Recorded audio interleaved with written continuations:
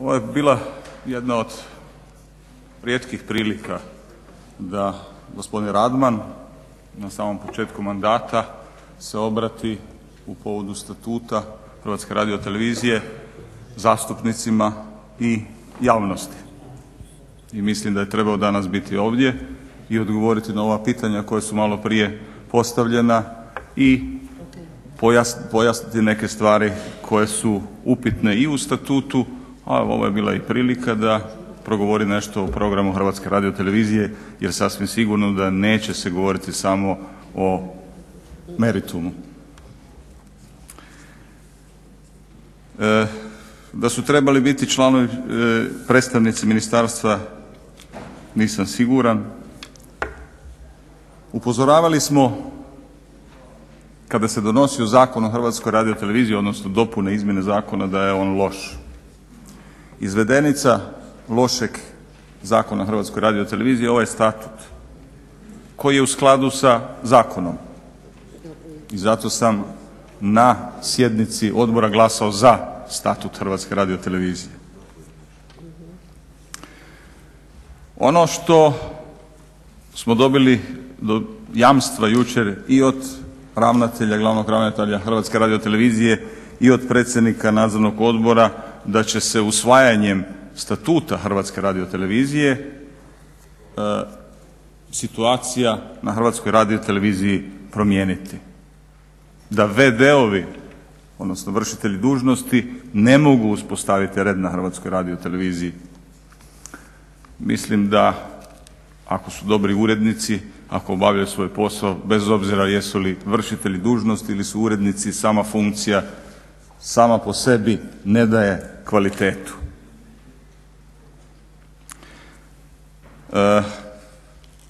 Nakon što su izabrani vršitelji dužnosti, vršitelj dužnosti ravnatelja HRT-a osjetio se pomak u programu HRT-a već iz toga što je onaj bio katastrofalno loš do ljeta.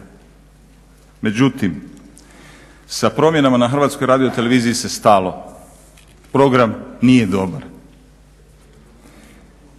Najviše što bode oči je to što u programima HRT-a nedostaju kriteriji.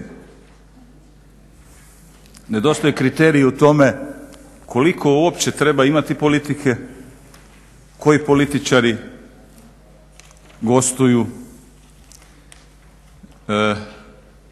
koliko treba biti opozicije.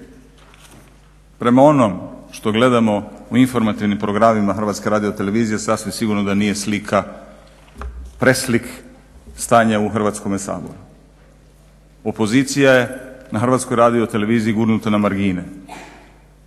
Čak se usudim reći da je prije toga odnos bio daleko ravnopravniji.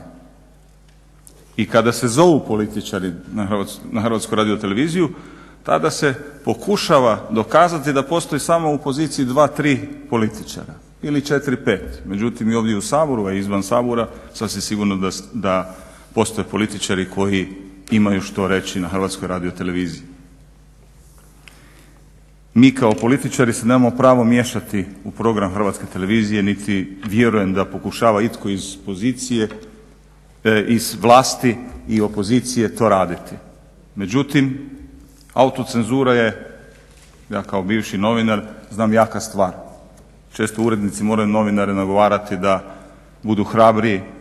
Hrabrosti na HRT-u nedostaje. Ništa se tu nije promijenilo.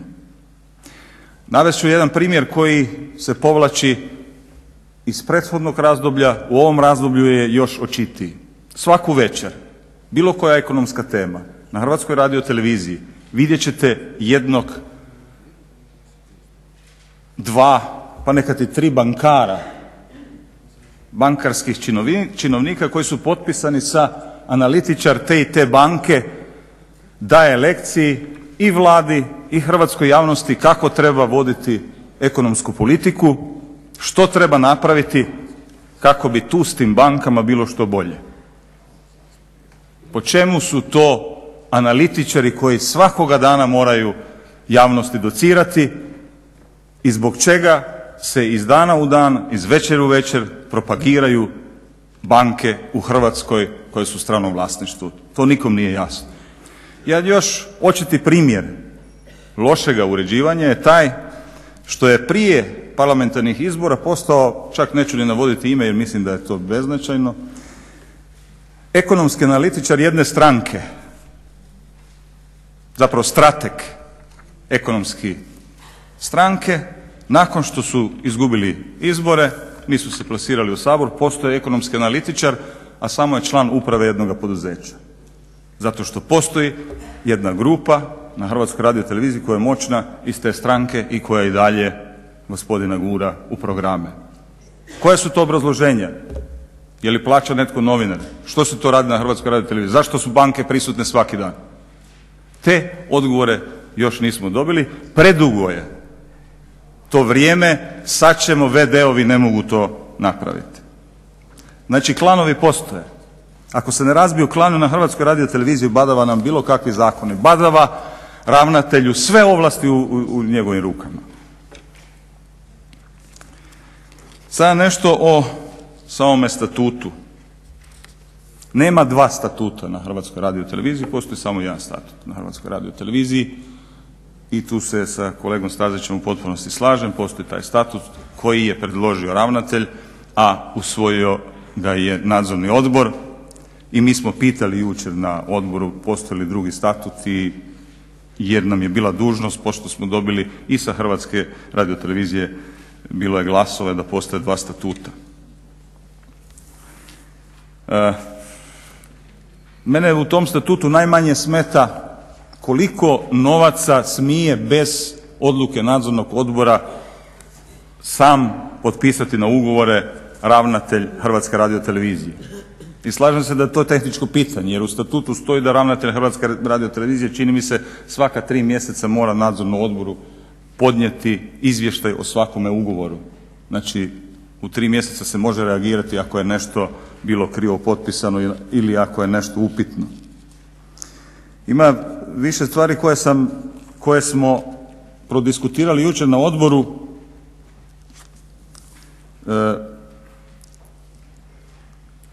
Zadužili smo i ravnatelja radiotelevizije i predsjednika Nadzornog odbora da konačno godinu dana molbe koje smo upućivali na radioteleviziji urode plodom, a to je da napokon pokažu koji su to aneksi ugovora jer čujemo da novinari koji drže lekcije političarima zarađuju daleko više, imaju plaće koje mogu biti daleko manje od političara, ali imaju s tim da nisu političari mjerilo, da ne bismo, nisam to mislio reći.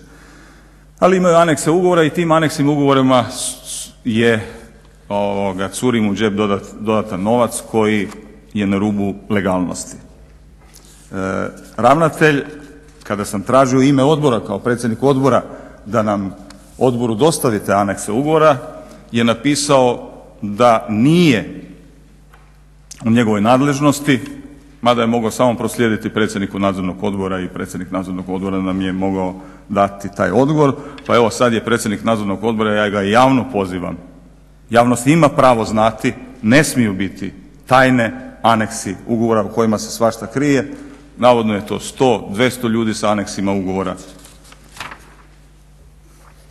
Ono što je bilo, što je možda upitno u statutu to je vertikalna i horizontalna linija uređivanja četiri programa na radioteleviziji. Kao što znate svaki program će imati svog glavnog urednika i ja još ne znam kako će to izgledati programi koji će imati četiri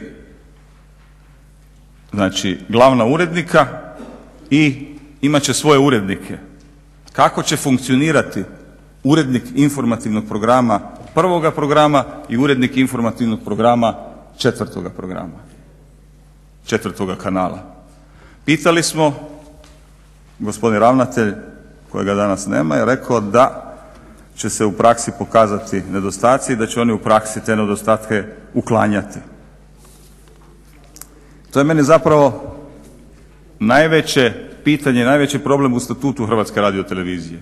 Upravo to kako će funkcionirati redakcija, koji će biti kriteriji u prvom i četvrtom programu, kako se seli nešto s prvog i četvrtog programa. Sasvim sigurno da to u Statutu ne može pisati, ali može pisati hijerarhija. Po hijerarhiji se zna tko je kome odgovoran, toga u Statutu nema. Kaže se u Statutu da će to određivati Pravilnik o unutarnjem ustroju. Vjerujemo da će pravilnik dati ta rješenja i nadam se da će uskoro na radioteleviziji svi oni urednici koji imaju vd biti bez vd-a, da će biti raspisan natječaj i da će se u natječaju izabrati najbolji koji će otkloniti sve one sumnje koje nas muče danas.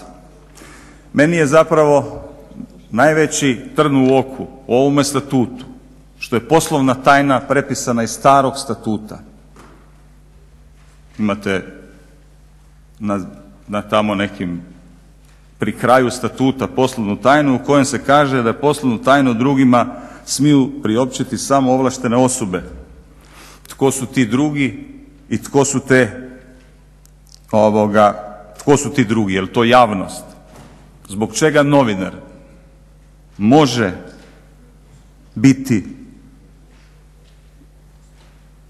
optužen da je povrijedio radnu obvezu ako kaže da je serija od 15 milijuna kuna namještena i da je čisti promašaj za Hrvatsku radioteleviziju. Je li to otkrivanje poslovne tajne? Ne kaže se što je poslovna tajna i ne kaže se tko su to drugi. Zbog čega javnost nema, zbog čega je to takav veo tajne na nekim podacima na radioteleviziji? Što se to taji? S novcem pretplatnika. Mislim da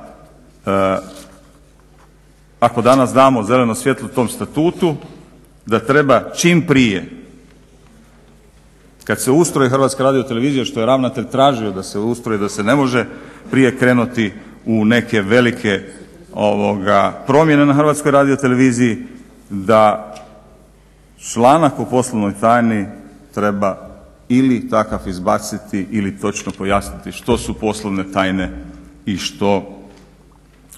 tko su ti drugi koji ne smiju znati poslovne tajne o radu Hrvatske radiotelevizije. Evo toliko. Hvala vam lijepo.